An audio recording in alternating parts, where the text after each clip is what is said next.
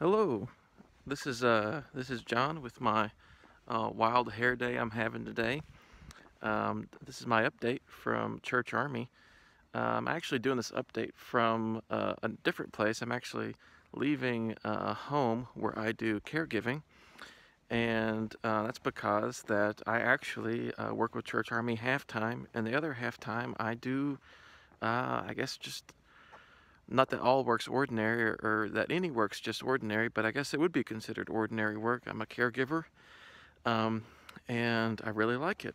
And uh, it's made me think about how the two interact, how my life uh, in, in part-time ministry, working as a street pastor, is uh, how it relates to my work as a caregiver. And I think both have taught me about um, being present with folks and maybe the, the, the ordinariness of ministry, about giving ourselves, uh, making ourselves available um, to the people that are in front of us and to the days that are in front of us. And honestly, I think I've been able to do more with a part time street pastor role than I would have um, if I had done full time, just because it's taught me humility about what I can and can't do. I, I set smaller goals because I don't have the hours to do as many big things as I was hoping I would be able to do.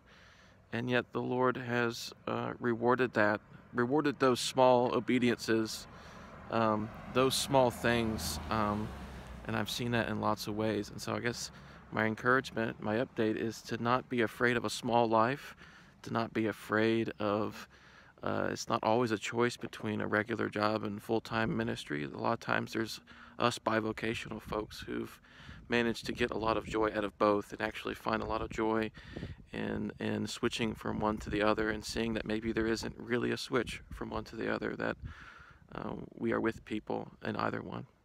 So that's my update.